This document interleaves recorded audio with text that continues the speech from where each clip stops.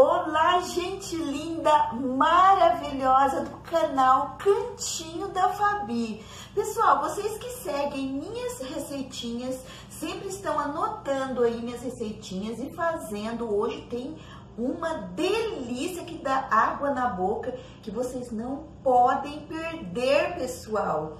Então, o que, que eu vou fazer hoje? Eu vou fazer torta de abobrinha com sardinha na travessa, pessoal. Vocês vão amar esta receita, pessoal. Vocês não podem deixar de anotar aí e prestar atenção, né? Porque quando a gente está fazendo, o mais importante é ver como a gente faz, né, pessoal? Só anotar não adianta, tem que assistir o vídeo até o final para a gente ver como faz esta torta de abobrinha com sardinha na travessa. Então vamos começar, pessoal, fazendo esta delícia. Já peguem aí o caderninho, anota a receitinha do cantinho Fabri, da Fabi, né? Porque essa... Ai, pessoal, só os ingredientes já está cheirando delicioso aqui, ó. Depois de feito, então, ó, hum, maravilha, né? Então, vamos começar a fazer essa receitinha, pessoal. Já corre, cata o caderninho, a canetinha e vamos anotar os ingredientes. Hum.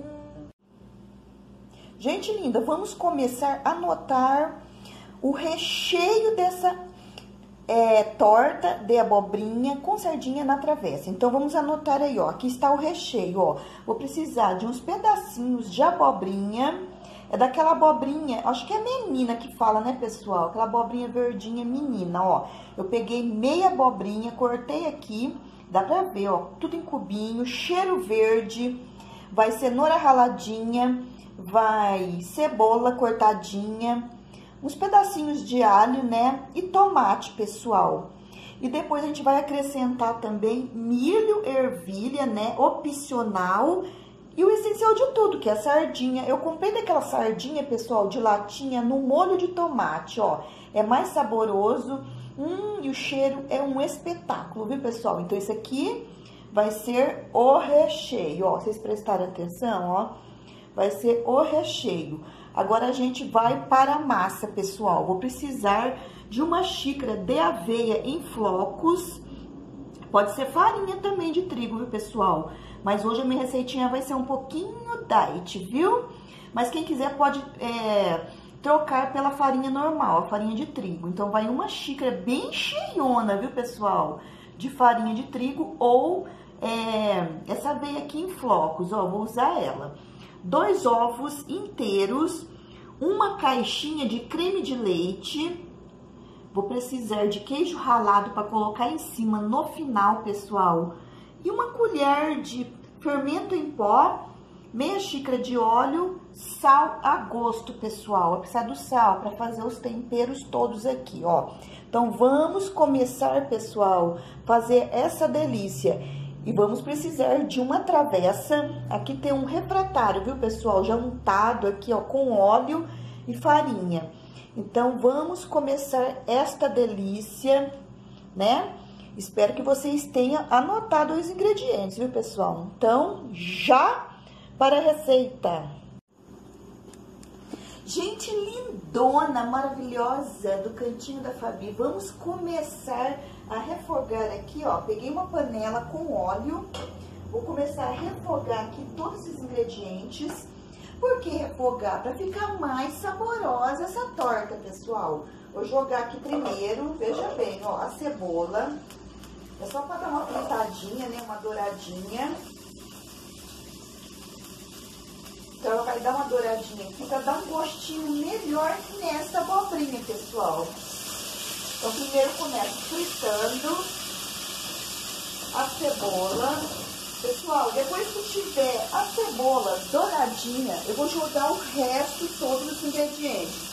Mas eu vou jogar o tomate, depois eu jogo a abobrinha, depois eu jogo a cenourinha com o alhinho, né? Opcional o alho, né, pessoal? Quem quiser. E o cheiro verde também, é opcional. Então, vamos por etapa, ó. Você já está fritando. Não dá nem pra ver, né, pessoal? Porque eu vou virar essa câmera aqui pra vocês poderem ver bem, né? E a receita é deliciosa, maravilhosa. A gente não pode perder nenhuma etapa, viu, pessoal? Pessoal, então aqui a cebola já está douradinha. Vou baixar o fogo, ó. Dá uma baixadinha aqui no fogo. Vou jogar o tomate. Só pra dar uma amolecidinha bem rapidinho, viu, pessoal? Depois também vai assar, né? Vou jogar esse tomate, o restinho da cebola que tava aqui, ó. Muito fácil essa receitinha, muito fácil mesmo.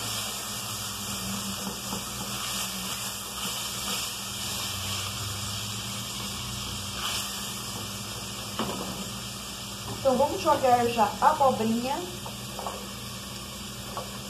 Só pra dar uma quebradinha nessa essa dureza da abobrinha, né, pessoal? Essa dureza, né? Porque se a gente coçar sem dar uma refogadinha, vai ficar sem sabor, né? E a nossa intenção é fazer uma torta saborosa. Agora, eu vou pegar aqui, ó, os restinhos do alho que tá aqui, ó, vou jogar aqui por cima. Pronto, muito fácil de fazer, pessoal? Muito fácil. Vou pegar o sal, vou dar uma pausinha, vou colocar o sal aqui, pessoal, e juntar o resto dos ingredientes. Gente linda, então aqui ficou refogando 5 minutos, foram apenas 5 minutos. Vou jogar a cenoura, o cheiro verde, o cheiro verde é opcional, né? A cenoura é opcional.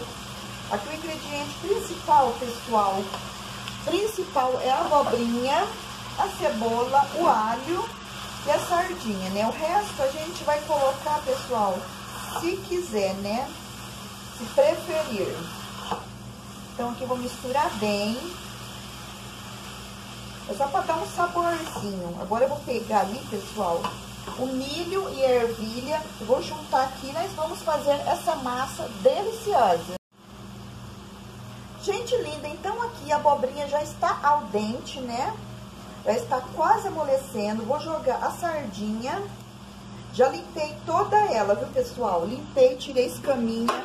Ai, desculpa. Cai... Nossa, parece que foi cair uma pena, hein, pessoal? Parece uma pena que caiu, mas não foi. Derrubei o um negocinho ali. Então, pessoal, aqui, ó, vou misturar a sardinha. Quando a abobrinha estiver ao dente. Então, já envolvi todos os ingredientes, inclusive o milho e a ervilha. Pessoal, o cheiro está maravilhoso. Bom, aqui já está tudo misturado, os ingredientes. Vou desligar o fogo. Enquanto vai esfriando, vamos fazer a massa. Gente linda, então aqui vamos preparar esta massa, né? Que vai ficar saborosa nesse recheio que, olha, hum, abobrinha com sardinha, né? Vou colocar dois ovos aqui. O creme de leite é uma caixinha inteira, viu, pessoal? Creme de leite com soro. Mas a caixinha, né, ela, geralmente ela não tem soro, né? Tem só um pouquinho.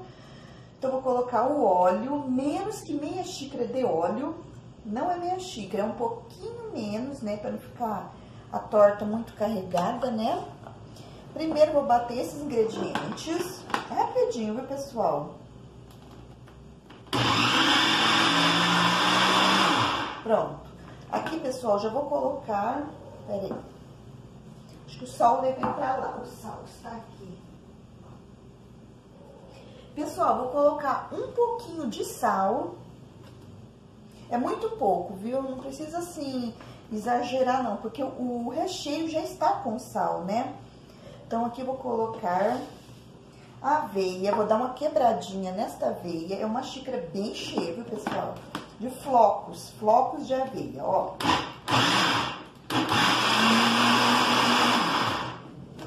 Vou colocar o fermento em pó, uma colher bem rasinha, uma colher rasinha.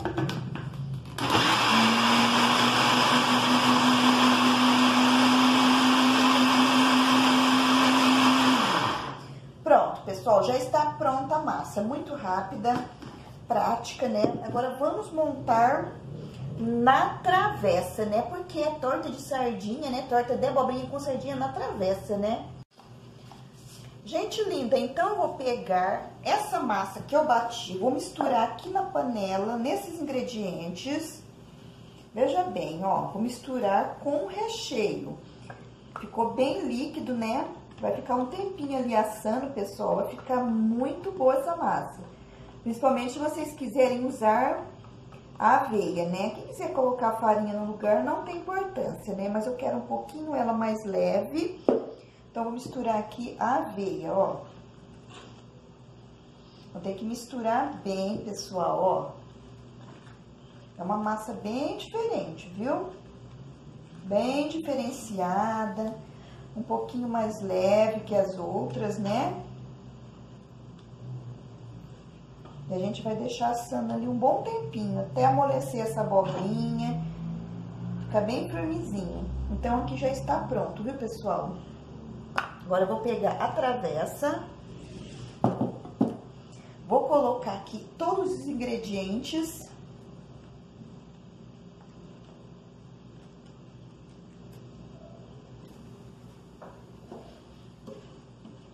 Tinha até o restinho, né? Pronto. Coloquei tudo aqui, ficou bem colorido, ficou bonito. A receita ficou linda, viu, pessoal? Agora, o que vai dar um tchanzinho aqui vai ser o queijo ralado, né? Ficou lindo, bem colorido. Peguei aqui o queijo ralado, um pacotinho inteiro, viu, pessoal? Vou usar um pacotinho inteiro, porque a intenção aqui é criar uma casquinha em cima. E ficar uma corzinha bem bonitinha também, um cheirinho delicioso, né? Porque queijinho ralado deixa um cheiro maravilhoso nas receitinhas, né, pessoal? Olha, aqui, pessoal, tem um temperinho desidratado, né? Alho desidratado, cebola desidratada.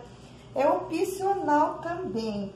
É para quem tiver, viu, pessoal? Para quem tiver. Quem não tiver, não precisa colocar. Pronto. A receitinha já está pronta. Vou levar ao forno. Daqui a pouquinho eu volto e mostro para vocês a receitinha depois de pronta, viu, pessoal? Gente linda, então aqui já está assadinha a torta de abobrinha com sardinha na travessa. Então, agora a gente vai cortar, pessoal. Vou dar uma talhada aqui no cantinho. Quanto mais fria, mais consistente, né? Ela ainda está quentinha. Ela ainda está quentinha, então, meio difícil de tirar, né, pessoal? Tem que tirar de um jeito que não desmancha, né? Aqui, pessoal, ó. Só que ela tá bem quente, então não está ainda consistente, né? Depois que ela esfria, que ela fica bastante consistente, ó. Ela fica bem cheirosinha, pessoal. O cheiro é muito bom. Olha aqui, ó. Hum, mas vai ficar uma delícia, viu, pessoal? Agora eu vou provar e mostrar para vocês esta gostosura. Hum.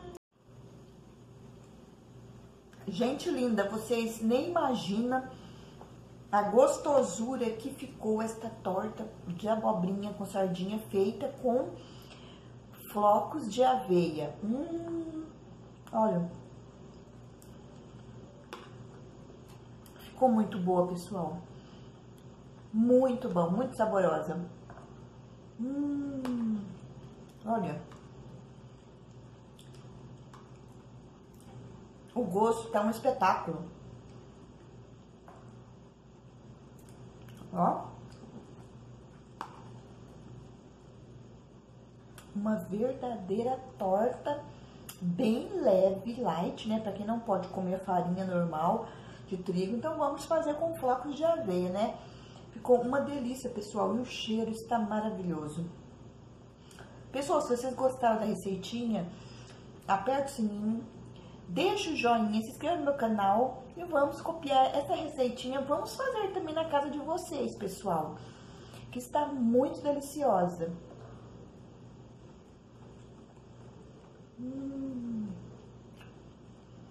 muito boa.